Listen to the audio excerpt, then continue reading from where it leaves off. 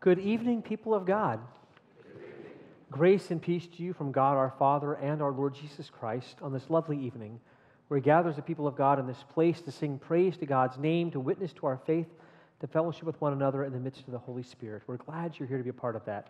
Um, I know there's faces we're seeing here at this service tonight who are here because we have what happening later tonight? The cantata. How many of you are here early? Let's be honest, came to this service so you could be here for your cantata tickets. Now remember, you have to have tickets for that event. You can't just hang out at church first.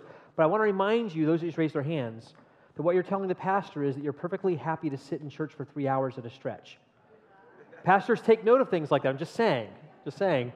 You'd notice that too. Do you know who they were? Well, remember that for long services. But we're glad you're here to be a part of that event or just to worship tonight. It's a wonderful time for us to hear from God's word. Um, tonight it's the prophet Habakkuk. We'll hear from him. We'll hear what God has to say to us. We'll sing praise. And of course, we will gather around the table of grace. Um, again, if you're a newcomer here, whether you're here for the cantata or not, this is not Hope's table. It's not even a Lutheran table. This is the Lord's table of grace, and it's a family table.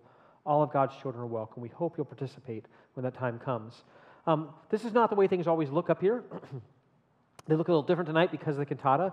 So we're having to work in a little jammed space. So we hope that you'll uh, work with us in any inconvenience that causes you. But I trust it'll be for a wonderful event as music and the word are shared in those times. Now, for those of you who are staying, who have your tickets, that's important again, have the tickets and are staying for 8 o'clock cantata, there's a special announcement for you for this service only, and it's in red, so I've got to read it loudly. If you are attending the 8 o'clock p.m. cantata and plan to stay in your seat following the service, you must remain absolutely silent for 15 minutes while we conduct sound check and prepare for the show. If you leave the room for any reason, you may leave your coat or bag in your seat to reserve it, but you'll have to wait in line outside to get back into the sanctuary. It's very important that we close it down. They would prefer to have everybody leave. And that's always inconvenient for people, so they can really set things up and get the sound checks and everything ready without people um, causing some kerfuffles. So if that's the case, uh, what I am going to ask you to do, if you're staying, is to we're going to move all of you down to front row kinds of seats, but move you down in one section so you're kind of together so people don't have to climb over you to get the seats. It's easier if we just block seat you together if you're staying in here. Um, I know that's a little inconvenient for you, but it's better than waiting in line. So just keep that in mind. There are other things to wait in line for as well, such as our budget information meeting tomorrow afternoon. Now you're all just pining for that time, but it is tomorrow at 12:45 here at Hope Central. It'll be up in the education room um, next door. Please plan on attending that, even though you're at church tonight. It's important to have dialogue about the spending plan, to know where we are, where we feel God's calling us, and to have deep dialogue before the day of the meeting if we can for the vote. So this week, is, uh, Sunday afternoon, is the um, discussion. The following week, Sunday, is the vote. Keep that in mind. Our seasonal decorating team, which does such an amazing job every year, is accepting donations in honor or in memory of loved ones uh, for the poinsettias and other holiday de- decorations for Christmas. Poinsettias are $12. Please sign up in the narthex. You'll be able to pick up your poinsettias after the last Christmas Eve service, the evening one, or after Sunday, after the Christmas morning service the next day. You can do that as well. And I will add this please don't dig up the ones that are out front that they planted so beautifully. Those are not to be taken right now, just the ones up here when that time comes. That'd be helpful. A reminder if you did the angel tree gifts, they must be returned to the church next weekend, April, uh, December the 8th and the 9th. Please send, see your instruction card for more information. It's important we have them in then. That's when the trucks are coming to collect them to take them to the places where the kids get them. So please keep that in mind if you are use, if you're coming to the cantata tomorrow and not tonight, you cannot, let me stress that again, cannot use the parking lot at Fairway Christian Church. They are wonderful, lovely neighbors and have often let us use their space for our events. It just happens that this year their event and our event coincide on Sunday. So they need all their parking. So we can park in our parking spaces or down at the Santa Fe shops with the shuttle bus we have going, which is a great way to park. Um, to do that instead, but we cannot use their parking um, they, they need all the parking they have, so please keep that in mind. We want to be good neighbors to those who have been good neighbors to us. The annual Blue Christmas worship service for those who are struggling with um, grief or loss this year um, will be held at 4 p.m. on Sunday, December 23rd. Um, it says at Hope Central Campus. Is that correct? It is? I can't, I can't. Somebody said, I think he said yes. I'm just looking for a head nod. Okay, yes, it is at Hope Central Campus. So remember that that's, it'll be kind of a, an important time to be here in the afternoon, but please come be a part of that if you have need or if you know people that have a need. If you know someone who's suffering or going through a difficult time, please let them know about that service. It is a wonderful way of receiving support. And then lastly, I need to let you know about two of those families who are having a hard time. Janet Blasek passed away on this uh, recently. We had announced that before, but now is the time to have the service. This Tuesday, December 4th at 10:30 here in this room, we'll have a service of celebration of life and memorial. And then the following Tuesday, also at 10:30, so a week from this coming Tuesday, will be a service for um, Bud Mangles, who passed away just a few days ago. We ask you uphold both of those families in your prayers, surround them with your love, and especially in this time of year, when it happens this close to the holidays, it's easy to combine those things and always see that overlap. So please keep them in your hearts and your prayers in your minds and walk with them as you are able. Those are all the announcements I have. If you stand where you are, greet those around you in the love and peace of Christ.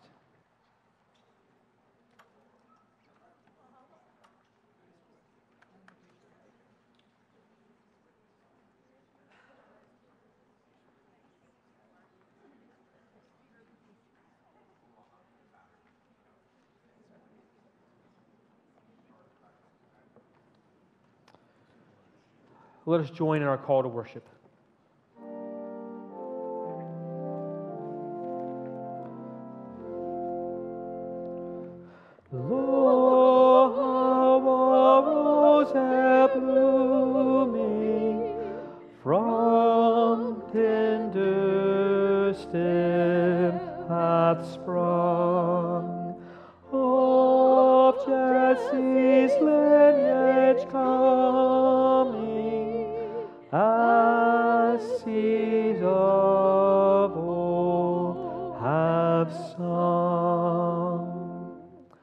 Blessed be the Holy Trinity, one God, the Lord of Israel, who comes to set us free, the mighty Savior who comes to show mercy, the dawn from on high who guides us into peace.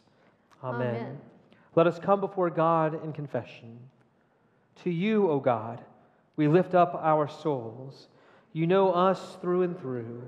We confess our sins to you. Remember not our sin, remember us with your steadfast love. Show us your ways, teach us your paths, and lead us in justice and truth. For the sake of your goodness in Jesus Christ our Savior. Amen. Amen.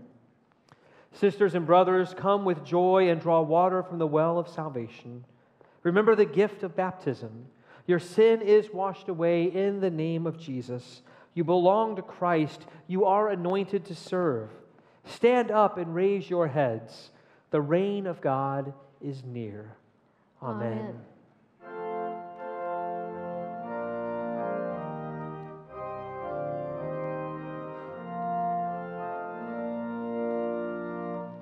Angels from the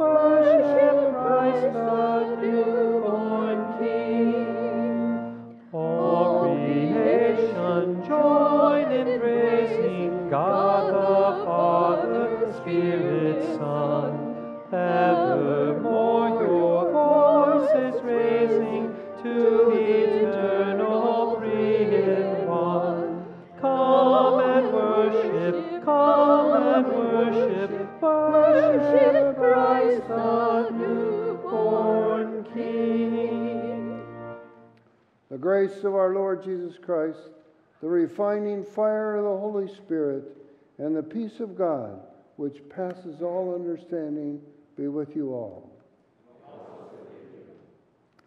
O faithful and loving God, we praise you for your tender compassion and give you thanks for your steadfast love for us and all creation. Bless us who see the light of this wreath, that we may be strengthened by the hope of your advent among us and live toward the completion of all things in you. We ask this through Christ our Lord. Amen. Tonight, we light the first candle as a symbol of Christ our hope. May the light sent from God shine in the darkness to show us the way of salvation. O come, O come, Emmanuel.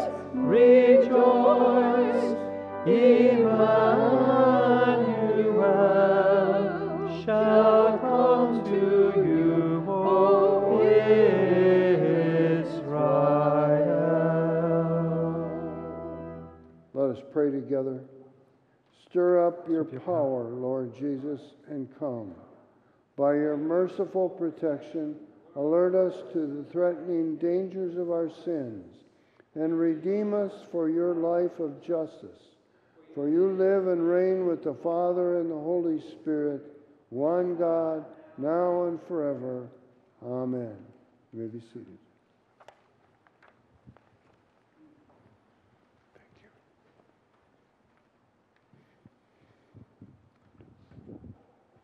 The prophecy that Habakkuk the prophet received. How long, Lord, must I call for help, but you do not listen? Or cry out to you, violence, but you do not save? Why do you make me look at injustice? Why do you tolerate wrongdoing? Destruction and violence are before me, and there is strife and conflict abound. Therefore, the law is paralyzed, and justice never prevails. The wicked hem in the righteous, so that justice is perverted. I will stand at my watch and station myself on the ramparts. I will look to see what he will say to me and what answer I, I am to give to this complaint. Then the Lord replied, Write down the revelation and make it plain on tablets so that a herald may run with it. For the revelation awaits an appointed time. It speaks of the end and will not prove false. Though it lingers, wait for it. It will certainly come and will not delay. See, the enemy is puffed up. His desires are not upright. But the righteous person will live by his faithfulness. Though the fig tree does not bud and there are no grapes on the vines, though the olive crop fails and the fields produce no food, though there are no sheep in the pen and no cattle in the stalls, yet I will rejoice in the Lord. I will be joyful in God my Savior. The sovereign Lord is my strength. He makes my feet like the feet of a deer. He enables me to tread on the heights. The word of the Lord. Thanks, be to God. God.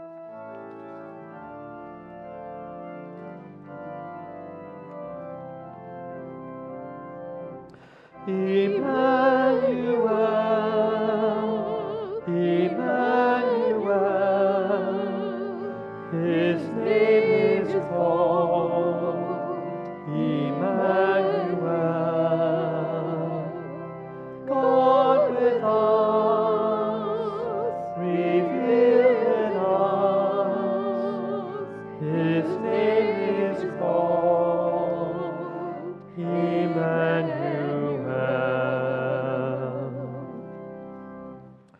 Holy Gospel according to St. Matthew, the 26th chapter. Glory to you, O Lord. Then Jesus went with his disciples to a place called Gethsemane, and he said to them, Sit here while I go over there and pray. He took Peter and the two sons of Zebedee along with him, and began to be sorrowful and troubled. Then he said to them, My soul is overwhelmed with sorrow to the point of death. Stay here and keep watch with me. Going a little farther, he fell with his face to the ground and prayed, My Father, if it is possible, may this cup be taken from me, yet not as I will, but as you will. The Gospel of the Lord. Praise to you, O Christ. Please be seated and let us pray. now speak, Lord, in this moment while we wait on Thee, and hush our hearts to listen with expectancy. Amen. There was pain and suffering and heartache and sin and brokenness and shame in the news this week. How many of you watched that on the news? Now, I want you very loudly to tell me which story I'm talking about on the count of three. One, two, three. All of them. That's a good answer. All of them. Touche. Here's the reality we could all pick our own stories, couldn't we? There's some stories we would all agree on and say, oh, yeah, that was terrible. And there's some that might sound worse to some of us than to others, right? I mean, Florida State didn't get a bowl game. How many of you care about that? One person. Thanks, Fred. I appreciate it. Go Ohio State. I'll pull for Ohio State just for you now. So it's you have the situation where if I'd said Ohio State, more people would raise their hands on that, right?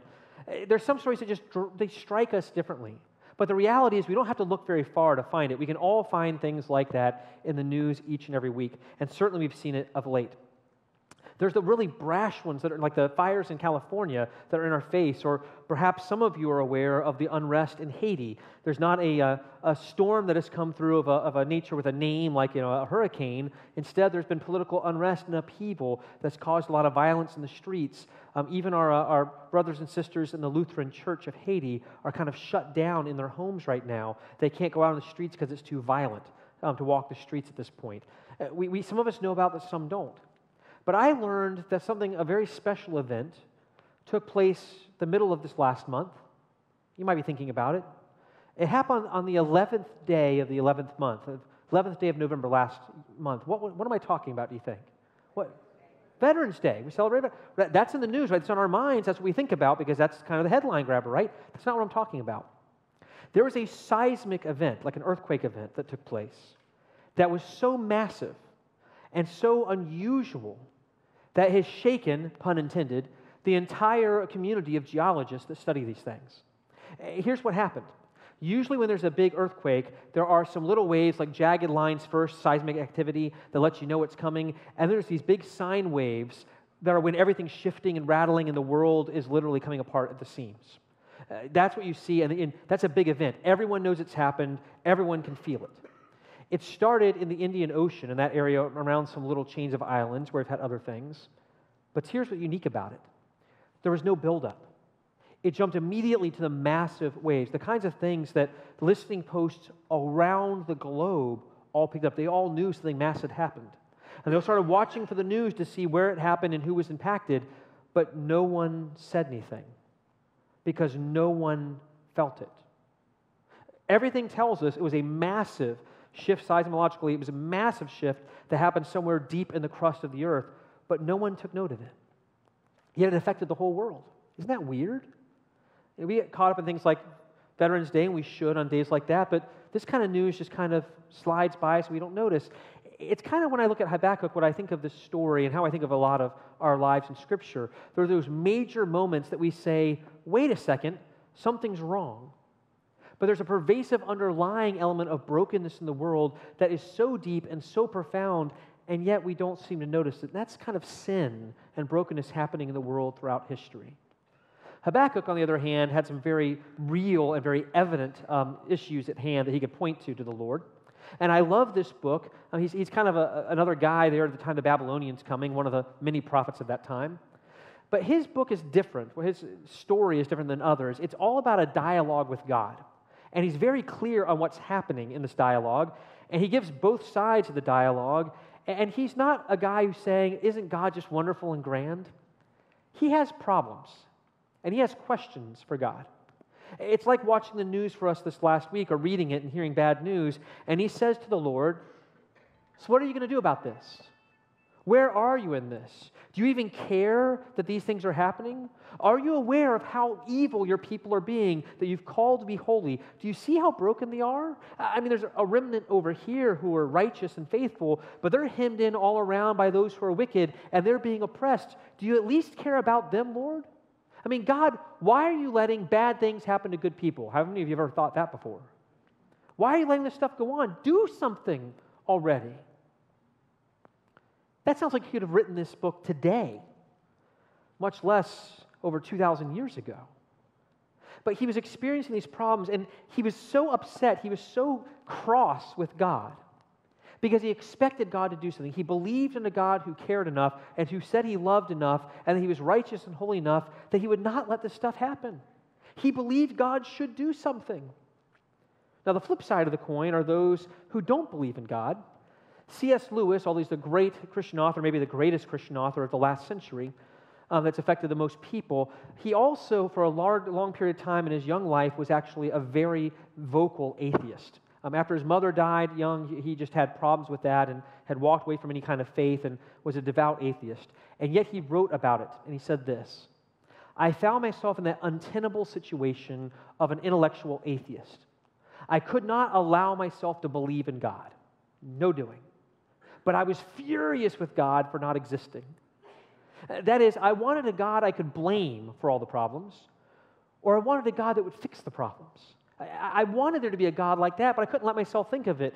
Now, after many years of being impacted by other people, as he said, um, in a, a young thinking atheist, you can never be too careful what people you read because it'll change your life. He read George MacDonald and others. It tra- radically changed him to be the man of faith he was later. But, but until that time, he was struggling, much like Habakkuk, from the other side, as it were, both having these great questions of why are things in the world the way they are? Is there no one who can change it? Habakkuk would say, absolutely. There's a God who cares and says that things will be changed. And yet things aren't. And yet he continues to pray. He doesn't stop having faith in that. He doesn't stop trusting and, and, and wanting to trust at least. He doesn't stop questioning God because he believes in a God who should do something. He just wants to get God to do it.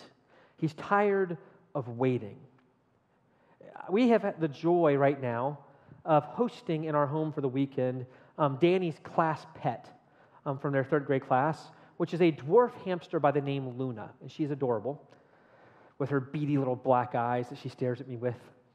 Um, Luna is a great name for her. It means moon because she is a night owl. That's what I mean. They're all nocturnal creatures, which means they run around and do all their noise making in the middle of the night.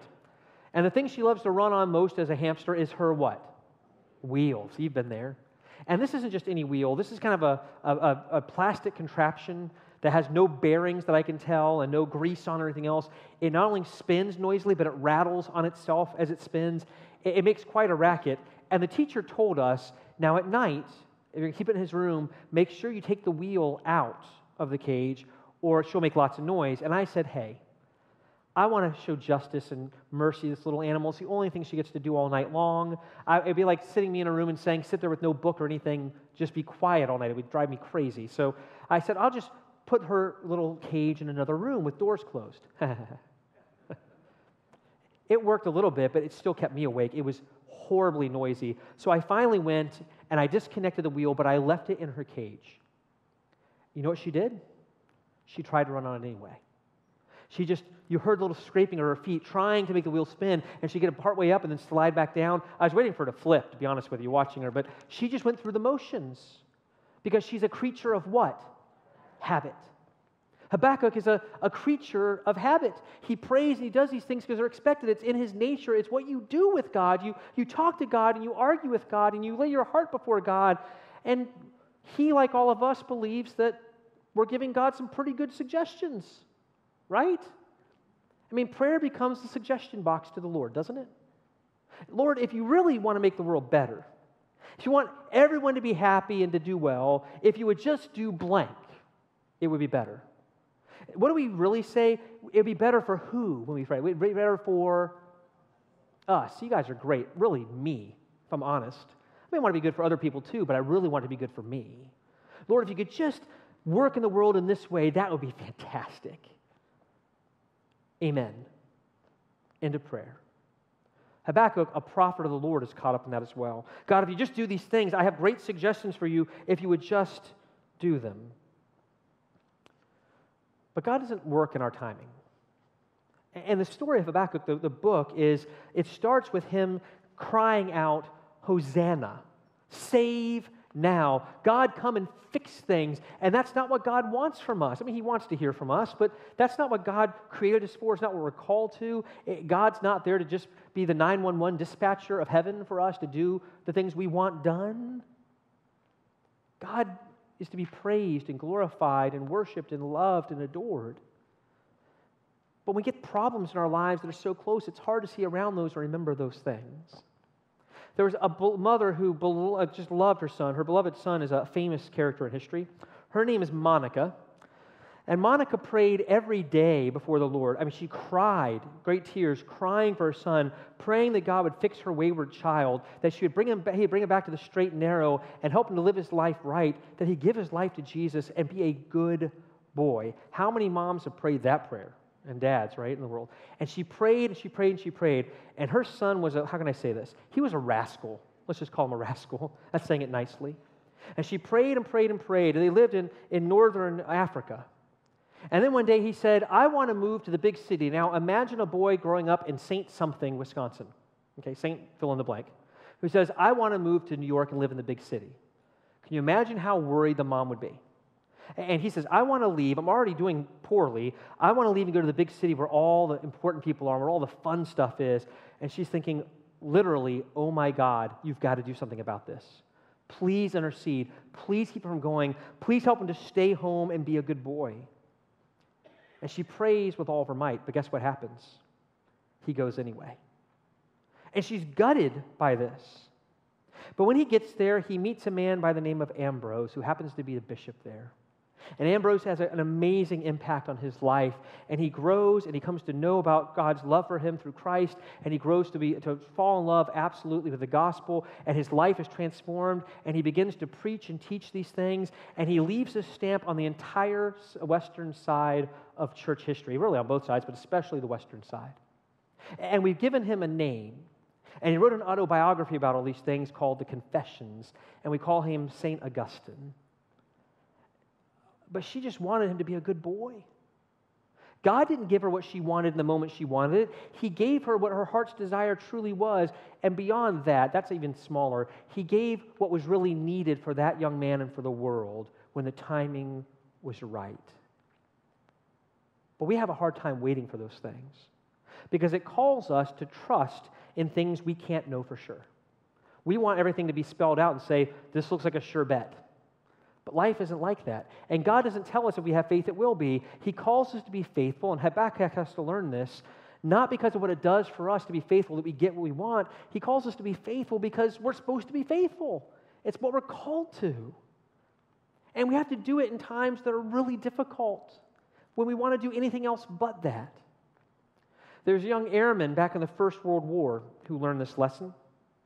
He was flying his uh, fighter plane, just learning the ropes, as it were, and he was flying up at a higher altitude. He was trying to get a feel for how it would fly to do loops and things. And if you don't know about those planes, they were kind of just a wooden frame with canvas stretched over them. Uh, and they used rope pulleys to, to move things, sometimes wire, but back in the early days, it was rope often to, to help um, move all the, the aerials and things to help you steer the plane. And he was up at, at an altitude looking down. He was loving life and he was getting the feeling for it. And then he felt some kind of resistance as he tried to steer to go up and down a little bit. Something was wrong. And, resistance was kind of strange and it felt just weird. So he did what you could do back then. He looked back down the tail to see where the ropes were going, to see if they were snagged on something. And there he saw a large rat that was gnawing on the rope. And he got really freaked out, as you might imagine. Because if that rope went, he would not be able to control the plane well. He'd not be able to control how he went up and down. It might just go down on its own without any control at all. And he had to decide what to do. And he thought to himself, well, if I start to descend now, if I get down quickly, then before the rope is chewed through, maybe I can land. And he thought about how high up he was, and he thought, you know, the rope will probably be gone before I get down there. I could try, but if I'm already aiming down and the rope goes, I will certainly crash and die. He was terrified of that. And then he remembered something he'd heard about experiments about wondering how high a plane could fly. And he said, You know, I, I know that the engine can only run up to a certain altitude before the air is too thin. They, there's not enough oxygen. They call it a rare atmosphere because oxygen is rare. He said, and, and I know that, that humans can get to about the same altitude, but when they were doing testing, a lot of other animals can't, that a lot of smaller animals can't survive at that altitude. So, what if instead of going down when I feel like I should go down, what if I climb higher? What if I climb into a rare atmosphere and up there I'm able to survive somehow, even though it's not comfortable, but the problem will be handled because of where I am? I have to trust that maybe that will work. No guarantees. And he took the risk and he climbed higher, and indeed it worked. Faith is the call for us to live in a rare atmosphere. To trust God not when things are easy or, or things are laid out nicely or where we know what the end result will be, but to trust even and perhaps especially when things are grim. Some of our favorite hymns that we have today are because people live through those dark, brooding times. Martin Rinkart wrote, uh, Now Thank We All Our God. Horatio Spafford wrote, It Is Well With My Soul both in times where he had lost family members and were going through dis, deep despair, and in a moment of deep agony, when they wanted to put their hearts on, in, on paper and they put the pen to the paper, out came hymns of praise. Habakkuk eventually learns to change his hosannas, God save now, to holy hallelujahs, praise God. Not because God is doing what I want, but because God is due the glory and the honor and the praise. And when he learned that his faith was not about him, but about the Lord to be focused on, everything changed for him. The world's didn't go well. God still sends the Babylonians, and he still wonders that's how you're fixing things by sending worse people to take care of the bad people? Things still don't go well then, but he trusts that eventually God will work things out. How can we trust that today? What hope do we have? We found the beginning of it in the opening of our, uh, our gospel today, which is a short passage of Jesus praying in the Garden of Gethsemane. When he is there, and it's not a fear that Jesus has of what might happen that he has to trust God into. He's trusting the Father in what he knows will happen if he trusts the Father. He is certain of the pain and suffering and death that is to come his way. And the human part of him that's fully human says, I do not want that. But his faithfulness to the Father says, Not my will, but your will be done. And he lives into it for the sake of us because he loves us so much and calls us then to abide with him and to live lives of faith that trust in God, not as blindly as Habakkuk had, who just trusted a word that was spoken through the prophets, but the word that lived in our midst. What better emblem can we have of trusting God, that God is faithful to us, than his son being born in the stable in Bethlehem? And what did he say to those parents? And you shall call his name Jesus. And then we call him hope and we call him joy, and we call him peace, and we call him salvation, and we call him redemption, and we call him Lord, and we call him God because he is. And we are called in turn to praise him, to live lives of faithfulness that trust into a dark future that we cannot understand, that won't always be bad, but sometimes is, but we trust in and through it, knowing that God keeps all things in his hands, and in the end, that God's will will be done. And we pray it whenever we're together. Your kingdom come and your will be done on earth as it is in heaven. Lord, let it begin with us. Lord, we who so often pray, Hosanna, may we change our tune and sing, Holy hallelujahs. May we praise you with our voices and with our hearts and with our lives, even in the dark times of life, that we might be a light in the midst of the darkness, that we, like the people who wrote hymns in the past, will draw people to a place of seeing that you matter and that you love us, even when things are bad, that we are called to trust in you. For Lord, we do. We thank you for your word that lived in our midst, that we might know you more fully and trust you more completely. And we give you thanks for the Spirit that enables us to live lives of faith even this day. We just pray, Lord, we'll do it a little more each day. As the candles are lit around the Advent wreath, that our lights will burn brighter and the world might be made a little brighter as well. For the sake of the one we call our Lord, even Jesus the Christ. Amen. Amen.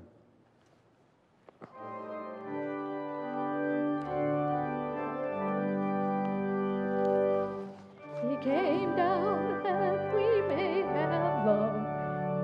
He came down that, That we may have love. He came down that we may have love. Hallelujah forevermore. Living together in trust and hope, we confess our faith. I believe in God the Father Almighty, creator of heaven and earth. I believe in Jesus Christ, his only Son, our Lord. He was conceived by the power of the Holy Spirit and born of the Virgin Mary. He suffered under Pontius Pilate, was crucified, died, and was buried. He descended into hell. On the third day he rose again. He ascended into heaven and seated at the right hand of the Father. He will come again to judge the living and the dead. I believe in the Holy Spirit, the Holy Catholic Church, the communion of saints, the forgiveness of sins, the resurrection of the body, and the life everlasting. Amen. God of salvation, you sent your Son to seek out and save. Hear our prayers on behalf of those who are lost in our day, receiving these petitions and thanksgivings with your unending compassion. Holy One, as we begin the Advent season of Advent, fill us with your presence as you wrap your arms around us and fill us with hope, peace, love, and joy. Help us to remember that we cannot find these things if we do not first seek your balance in our lives. Lord, in your mercy, Hear our prayer. God, we are not a patient people. We are in the season of waiting and we are asking for your guidance. Give us peace and hope as we wait for the new places you take us and the people you'll bring into our lives. Fill our hearts with joy and love as we share with, tho- with others and become your hands and feet in the world around us. Lord, in your mercy. Hear our prayer. Holy God, our lives are often filled with heartaches, worry, and illness. Send your Spirit into our lives that we might live our lives confident that you hear our prayers. Give peace to those grieving. Give hope to those who find themselves facing difficult decisions. And send healing to those who are sick. We pray today for those who have asked us to pray for them in our hearts and on our lips. Barbara, Ellen. Okay. family. And Jeannie. Lord, in your mercy, Hear our prayer. Redeeming Sustainer, visit your people and pour out your strength and courage upon us, that we may hurry to make you welcome, not only in our concern for others, but by serving them generously and faithfully. In your name we pray. Amen. Amen. And receive the offering. You may be seated.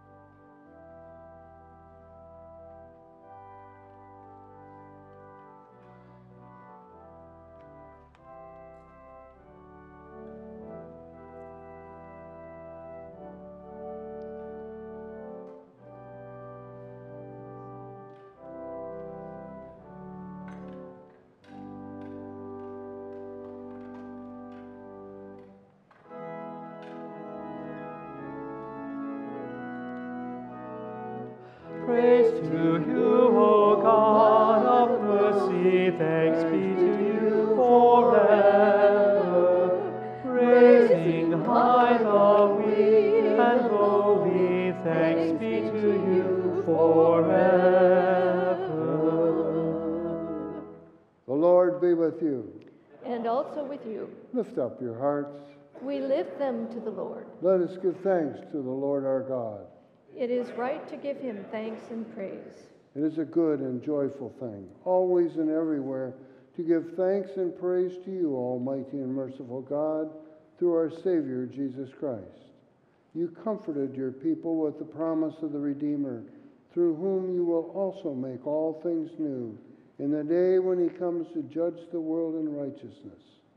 And so, with all the choirs of angels, with the church on earth and the hosts of heaven, we praise your name. Holy, holy, holy,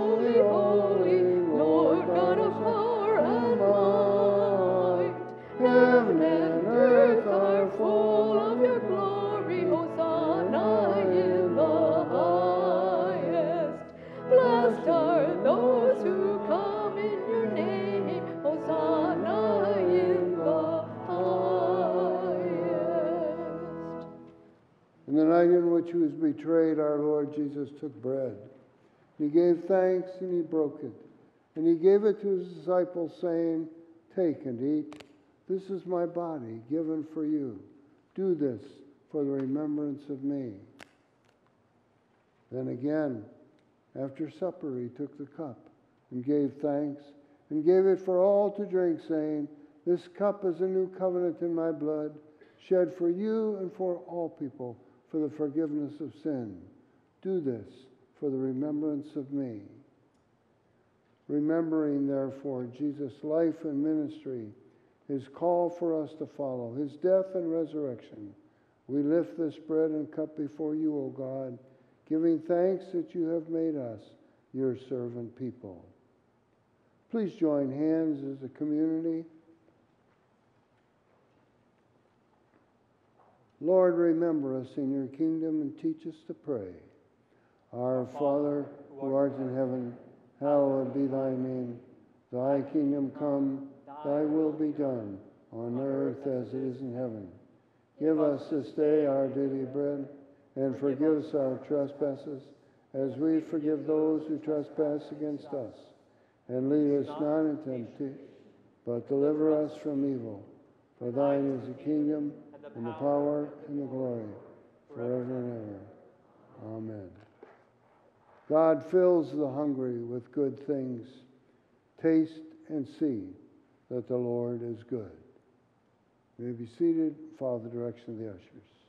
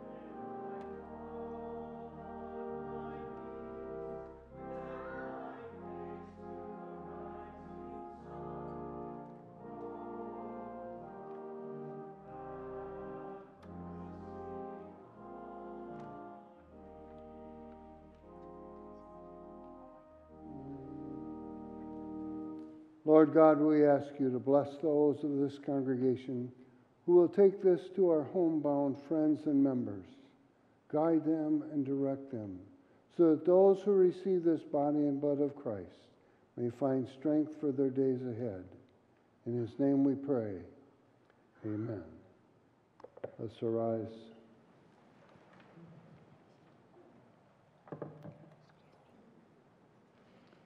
The body of our Lord Jesus Christ and his precious blood strengthen you and keep you unto eternal life. Amen.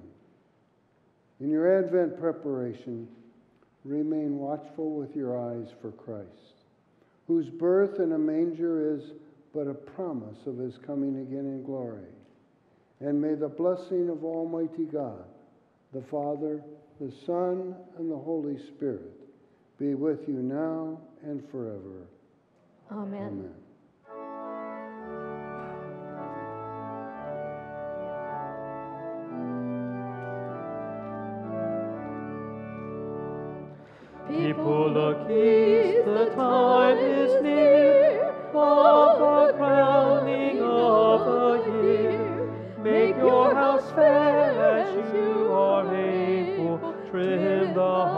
Hearth and set the table. People look east and sing today.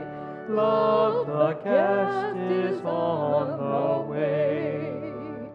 Furrows be glad, the earth is bare. One more seed is planted there. Give up your strength, the seed to nourish, that its course the flower may flourish. People look east and sing today. Love the roses on the way. Stars keep the watch, night is dim. One more light the bowl shall brim, shining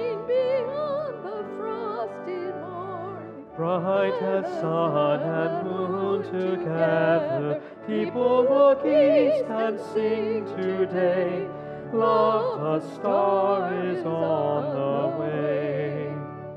Angels announce with shouts of birth, Him who brings good life to earth. Set every peak and valley humming with a word, the Lord is coming. People look east and sing today.